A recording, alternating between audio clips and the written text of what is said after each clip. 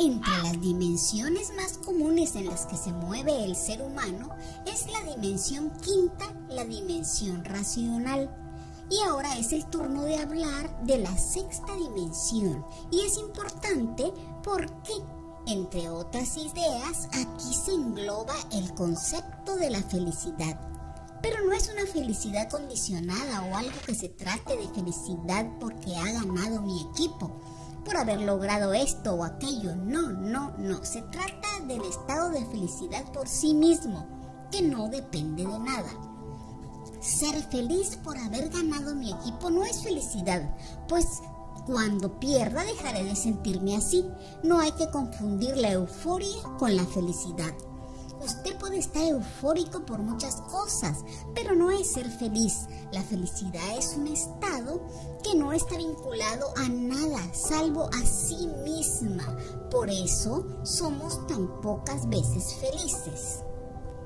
El estado de contemplación de un místico que afirma que las palabras son pobres para definir su estado. Eso es felicidad. El estado del enamorado al saberse correspondido, eso es euforia y esta es siempre momentánea.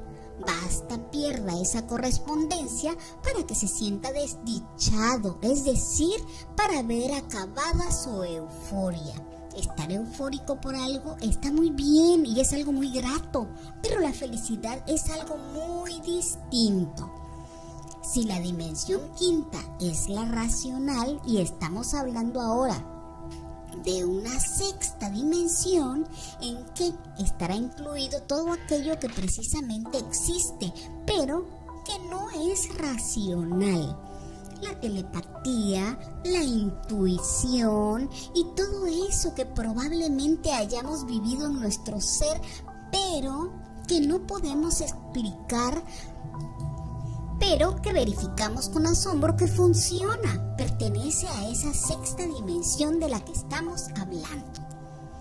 Vamos a poner un ejemplo. Seguramente usted habrá conocido a alguna de esas personas que hablan a las plantas. Racionalmente eso es un absurdo, pues las plantas no poseen órganos auditivos que les permitan escuchar nada y por otra parte tampoco tendrían por qué reaccionar de una manera determinada. Pero cuando uno ve que a esa persona que habla con las plantas, estas les crecen muy bien y en lugares que la botánica no recomendaría, se siente uno sorprendido. Y es que Aquí la lógica de la quinta dimensión no funciona. Aquí lo importante es el resultado final y punto. Si la quinta dimensión a través de su buque estrella, que es la ciencia, pretende establecer una cadena lógica de causa, efecto y que ello se produzca siempre, aquí esto ya no es así. Puede ser que la persona que hable con las plantas y ésta le crezcan perfectamente, aunque las riegue mucho y se recomiende que esas especies se le deba regar poco. Pero el hecho que usted se ponga ahora a hablar con las plantas no garantiza ningún éxito. La diferencia está en que la persona está en una sexta dimensión. Quien está situado en la sexta dimensión por lo general es tratado de raro, pero claro, lo que hace no es común que lo que manda la quinta, la estructura lógica, pero por otra parte, a pesar que se sabe no comprendido, poco le importa. Está por encima del juicio que está en una cuarta dimensión de la emotividad del bien y del mal.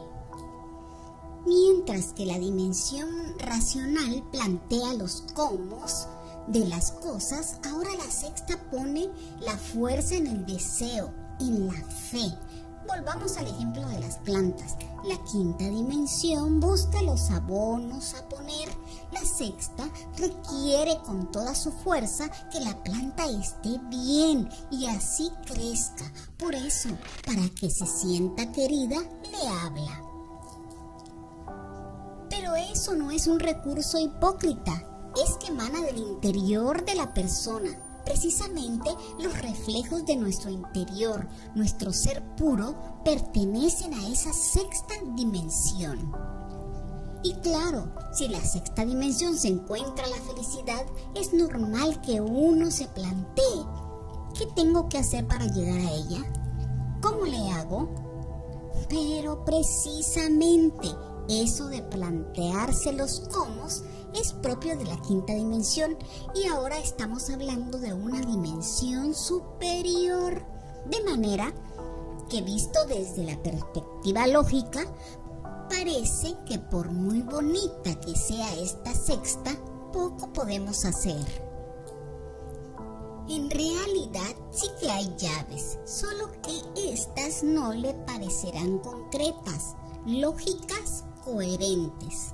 A la sexta dimensión se llega por la fe, y la fe es algo inabarcable por la mente, pero posible y el otro concepto para entrar a una sexta dimensión se deduce de su propio nombre, con el que es conocida en términos esotéricos, el reino de los espíritus puros. Por cierto, los ángeles se mueven en esta dimensión.